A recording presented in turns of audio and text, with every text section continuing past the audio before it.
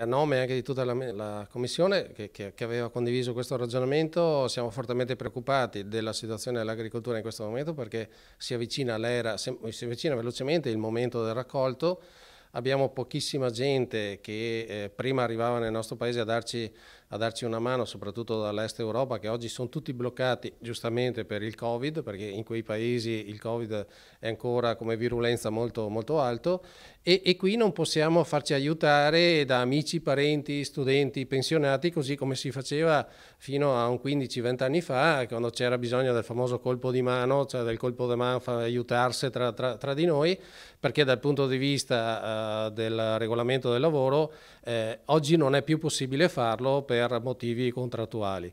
L'avevamo risolto eh, grazie anche alla Regione Veneto, al Presidente Zaia, grazie anche ai governi precedenti erano stati adottati i voucher, con i voucher si poteva poi compensare giuridicamente e, e, anche dal punto di vista proprio previdenziale, perché il voucher prevede anche una forma previdenziale al suo interno, questi tipi di co collaborazione poi eh, il governo di centro-sinistra, forse anche perché se n'era un po' abusato con i voucher, aveva completamente abolito, abolito i voucher. Però comunque i voucher avevano, detto, avevano risolto il problema, poi qualcuno ne aveva, ne aveva abusato. Nella lettera io avevo chiesto che venissero reintrodotti solo per l'agricoltura e solo per i due due mesi la possibilità di usufruire appunto di questi, di questi voucher. E la ministra Bellanova ha detto sì ok eh, condivido eh, perché effettivamente il problema c'è però non è di mia competenza è di competenza del ministro del lavoro della Catalfo e, e a lei eh, girerò, girerò, il problema. Io spero che glielo giri presto perché